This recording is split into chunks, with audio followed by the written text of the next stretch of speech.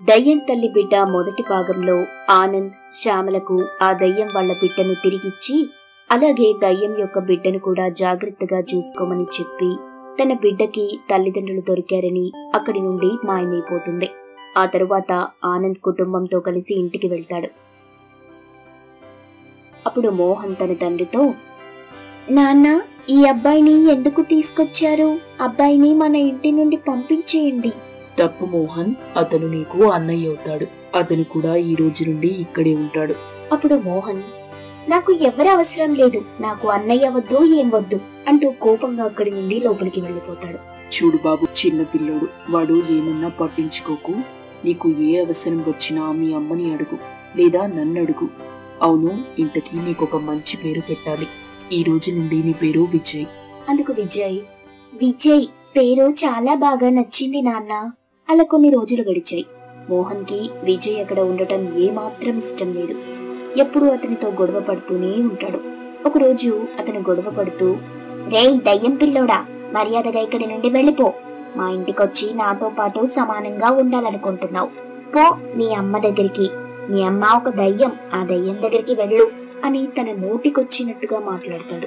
దానికి విజయ్ చాలా బాధపడుతూ ఒక చోట కూర్చొని ఏడుస్తూ ఉంటాడు. అమ్మా నన్ను ఒంటరివాణ్ణి చేసి ఎందుకు వెళ్ళిపోయావమ్మా? నన్ను కూడా నీతో పాటు తీసుకెళ్ళొచ్చు కదా. నేను ఇంట్లో అస్సలు ఉండలేకపోతున్నాను చీటికి మాటికి గొడవలు. నాకు అస్సలు ఇక్కడ ఉండాలనిపించట్లేదు. నువ్వు ఎక్కడున్నావమ్మా? వచ్చి నన్ను తీసుకెళ్ళు అంటూ బాధపడుతూ ఏడుస్తూ ఉంటాడు. ఇంతలో తన తల్లి దయ్యం రూపంలో అతన్ని చూస్తూ అయ్యో నా బిడ్డ ఎందుకు ఈ ఇంత బాధపడుతున్నాడు? అతనికి ఒక మంచి తల్లి తండ్రి ఒక తమ్ముడు మంచి కుటుంబం లభించింది కదా. మరి ఎందుకు ఇంతగా బాధపడుతున్నాడు? అంటూ అతని ముందుకొచ్చింది. ఆమెను చూసిన అతను అమ్మా అంటూ కౌగిలించుకున్నాడు. ఏమైంది బాబు? ఎందుకంతగా దుఃఖిస్తున్నావు?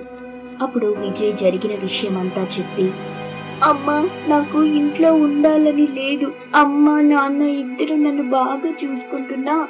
తమ్ముడు మాత్రం నన్ను అన్నయ్యగా భావించటం లేదు. నన్ను నీతో పాటు తీసుకెళ్ళిపో అమ్మా. వద్దు బాబు ఈ సమాజం మంచిది కాదు.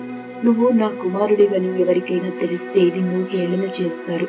వద్దు బాబు వద్దు. అమ్మా నువ్వు ఎలా ఉన్నా నా తల్లివి కదమ్మా. నన్ను నువ్వు తప్ప ఎవ్వరూ అర్థం చేసుకోలేరు. బాగా చూసుకోలేరు. ఒక బిడ్డ బాధ సంతోషం ఒక తల్లికి మాత్రమే తెలుస్తుందమ్మా. నేను ఇక్కడ అస్సలు సంతోషంగానే లేను. అయినా నువ్వు దయ్యంగా మారింది ఎవరి కోసం? నా కోసమే కదా. అయితే నువ్వు ఇక్కడుండు లేకపోతే నన్ను అక్కడికి తీసుకెళ్ళు. లేకుంటే నన్ను కూడా చంపేయి. అతని మాటలు విన్న తల్లి ఏడుస్తూ వద్దు బాబు అలా మాట్లాడకూడదు. నీకు ఇక్కడ ఉండటం ఇష్టం లేకపోతే నేను నాతో పాటు తీసుకెళ్తాను. పద. అంటూ అతన్ని ఆమెతో పాటు తీసుకువెళ్తుంది. అతన్ని ఒక అడవిలో ఉన్న గుహలో ఉంచి భగవంతుడా ఎందుకు నాకు ఇలాంటి కర్మ? భర్తని దూరం చేశావు బిడ్డకి తల్లి లేకుండా చేశావు. నేను గనక బతికుంటే సమాజంలో ఏ కూలో నాలో చేసుకుని నా బిడ్డను పోషించుకునేదాన్ని. ఇప్పుడు నేనేం చేయాలి? మంచి కుటుంబం దొరికిందని నా ఆత్మ శాంతించే లోపే ఇలాంటి కష్టాన్ని తీసుకొచ్చి పెట్టావు. నీకిది న్యాయమా? నువ్వు మనుషులను చేసి వాళ్ళతో బొమ్మలాట ఆడుతావు అంటూ బాగా ఏడుస్తుంది. ఆమె బాధను చూస్తున్న విజయ్ ఎందుకమ్మా ఏడుస్తున్నావు? నేను ఇక్కడ ఉండటం నీకు ఇష్టం లేదా?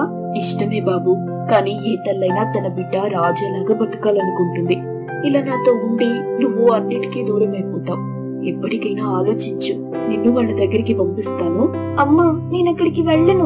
ఒకవేళ నేను అక్కడికి వెళితే తమ్ముడు నన్ను అన్నగా భావించి కలిసి ఉంటేనే అక్కడికి వెళ్తాను. లేదంటే నా చావు ఇక్కడే చూస్తావు. వద్దు బాబు అలా మాట్లాడకు. చిన్నపిల్లలు దైవంతో సమానం. అలాంటి పెద్ద పెద్ద మాటలు మాట్లాడకూడదు.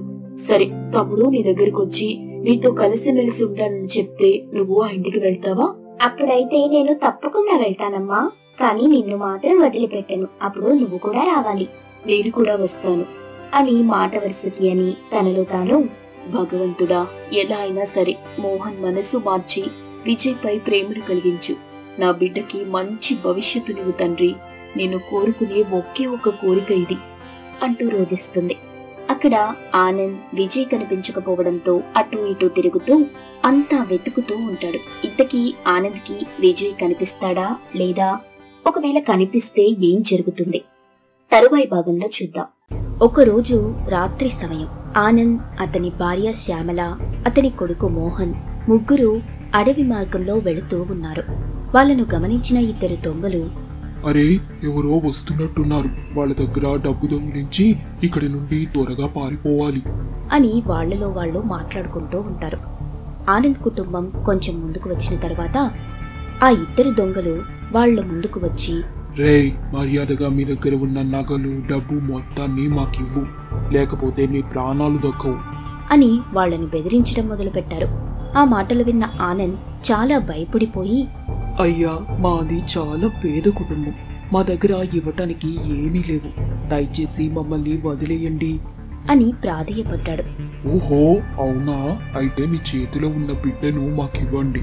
వాణ్ణి అమ్ముకొని డబ్బులు తెచ్చుకుంటాం. అని ఆ బిడ్డను బలవంతంగా తీసుకునే ప్రయత్నం చేస్తారు. ఎంత మాత్రమో వాళ్ళు ఆ బిడ్డను వదలకపోవడంతో ఆ దొంగలు ఆనంద్ తలపై బలంగా కొట్టారు. ఆనంద్ తలకి గాయమై కింద పడిపోయి అతను మరణించాడు. ఆ దొంగలు ఆ బిడ్డని తీసుకుని అక్కడి నుండి పారిపోయారు. ఆమె ఎంతగానో ఏడుస్తూ నా బిడ్డను నాకు తిరిగివ్వండి మీకు పుణ్యం ఉంటుంది అంటూ కేకలు వేస్తూ వాళ్ళ వెంపడి పరిగెడుతుంది. అలా ఆమె బిడ్డ కోసం పరిగెడుతూ అక్కడే ఉన్న గోతిలో పడిపోయి ఆమె కూడా మరణిస్తుంది. అలా రోజులు గడిచాయి. ఒకరోజు అదే అడవి మార్గంలో ఇద్దరు భార్యాభర్తలు నడుచుకుంటూ వస్తున్నారు.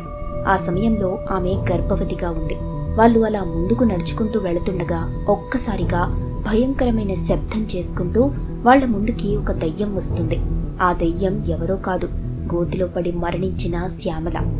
వాళ్ళు ఆ దయ్యాన్ని చూసి భయంతో ఓరి భగవంతుడా ఉన్నట్టుండి ఇదెక్కడి నుండి వచ్చింది?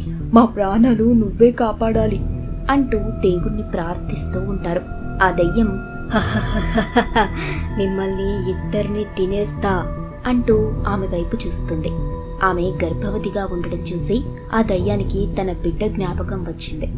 వెంటనే ఆ దయ్యం ఆ బిడ్డ నా బిడ్డ ఆ బిడ్డ నాకు కావాలి అంటూ తన మాయతో ఆమె కడుపులో ఉన్న బిడ్డను దొంగిలించి అక్కడి నుండి మాయమైపోతుంది. దాన్ని చూసిన వాళ్ళిద్దరూ స్పృహ తప్పి కింద పడిపోతారు. ఆ మరుసటి రోజు ఉదయం వాళ్ళిద్దరికీ మెలకువ వచ్చి పైకి లేచి ఒకరితో ఒకరు ఏవండి? మన బిడ్డ మన బిడ్డ మన బిడ్డ నాకు కావాలండి.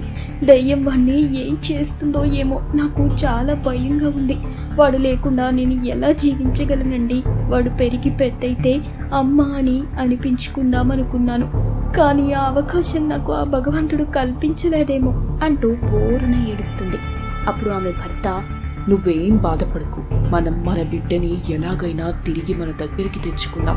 పద మన బిడ్డ ఎక్కడున్నాడో వెతుకుదాం. అంటూ ఆ చుట్టుపక్కల గ్రామంలోకి వెళ్ళి జరిగిన విషయమంతా చెప్పి అందరినీ అడుగుతూ ఉంటాడు. అప్పుడు అమృత బిడ్డను దొంగిలించిన ఇద్దరు దొంగలలో ఒక దొంగ వాళ్ళకి కనిపించాడు. అప్పుడు ఈ భార్యాభర్తలిద్దరూ జరిగిన విషయమంతా అతనికి చెప్పడంతో అతడు ఆశ్చర్యపోయి మీరేం కంగారు పడకండి. ఒకనొకప్పుడు నేను దొంగగా ఉన్నప్పుడు దయ్యానికి నేను నా మిత్రుడు ద్రోహం చేశాం. ఆమె భర్తను చంపేశాం. ఆమె బిడ్డను దొంగిలించి తీసుకొచ్చాం. అంటూ జరిగిన విషయమంతా చెప్పాడు. అప్పుడు ఆ భార్యాభర్తలిద్దరూ అయ్యా మీరు ఎలాగైనా మా బిడ్డను ఆ దెయ్యం బారి నుండి విడిపించాలి. మీరేం కంగారు పడకండి. ఆ దయ్యం బిడ్డ నా దగ్గరే ఉన్నాడు. ఆ బిడ్డని ఆమె దగ్గరకు తీసుకువెళ్ళి మీ బిడ్డను మీరు తీసుకోండి. అంటూ దయ్యం యొక్క బిడ్డను వాళ్ళతో పాటు పంపిస్తాడు.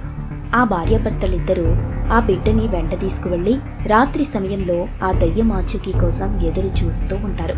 ఆ భార్యాభర్తలిద్దరూ ఆ పిల్లవాడితో బాబు నువ్వు ఒక్కసారి పెద్దగా అమ్మ అమ్మ అంటూ పిలు. అప్పుడు మీ అమ్మ నీ దగ్గరికి వస్తుంది. అవునా అంకుల్? మా అమ్మ ఇన్ని రోజుల నుండి ఇక్కడే ఉంటుందా? అయితే ఇప్పుడే పిలుస్తాను. అమ్మా అమ్మా!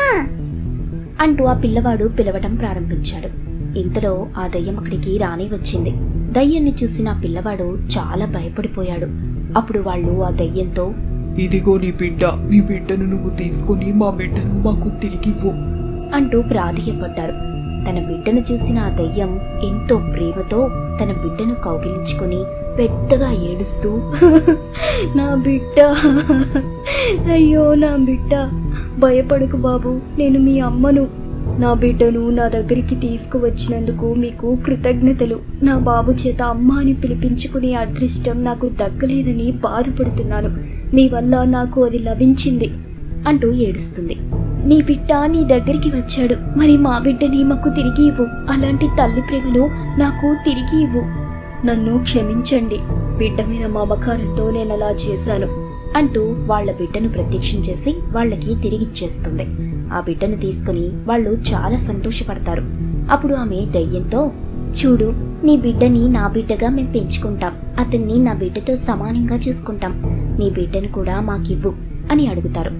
అందుకు ఆ దయ్యం చాలా సంతోషపడుతూ మీ మాటలకి నా కృతజ్ఞతలు. నా బిడ్డకి తల్లిదండ్రులు లేని లోటు తీరబోతోంది. నాకు చాలా సంతోషంగా ఉంది. ఇక నా ఆత్మకు శాంతి కలుగుతుంది. నా బిడ్డని మీతో పాటు తీసుకువెళ్ళిపోండి అంటూ ఆమె అక్కడి నుండి మాయమైపోయింది. ఇక వాళ్ళు ఆ బిడ్డను తీసుకుని అందరూ కలిసి అక్కడి నుండి వెళ్ళిపోతారు.